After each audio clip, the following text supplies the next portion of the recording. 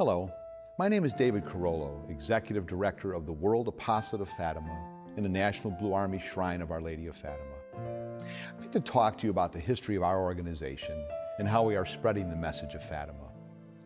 In 1947, 30 years after the apparitions, Sister Lucia was disturbed that Our Lady's requests had not been followed sufficiently. One by one, the prophecies of Our Lady had come true, and the introduction of the atomic bomb made real the possibility of Our Lady's warning that nations could be annihilated.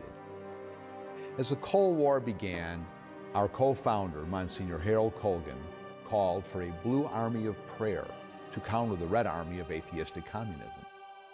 Our weapon, the rosary. He partnered with Catholic author John Haffert who met with Sister Lucia to identify exactly what Our Lady wanted of the faithful, and together they developed the pledge, which was signed by millions over the following years. In 2005, the Church elevated our organization as the World Apostolate of Fatima to the status of a public association of the faithful in the Church.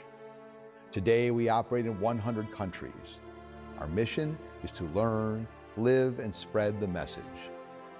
We are especially focused today on spreading the first Saturday's devotion, the last piece of the Fatima tapestry. In 1947, our apostolate began with a tour of the famous International Pilgrim Virgin statue, which has traveled around the country and the world for these many years, visiting over 100 countries, bringing the spirit of Fatima to countless people. Today, we are engaged in a centennial tour for peace, visiting 100 U.S. dioceses in 100 weeks. Our Lady's peace plan from heaven is more necessary today than ever. Will you join us in this battle for the soul of the world?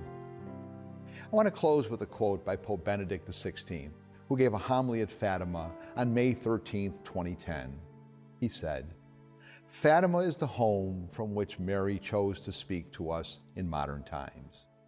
We would be mistaken to think that Fatima's prophetic mission is complete. I invite you to join our apostolate and help us in our work. For more information on our work and how you can be part of this mission, please visit our website at bluearmy.com or follow us on Facebook. God bless you.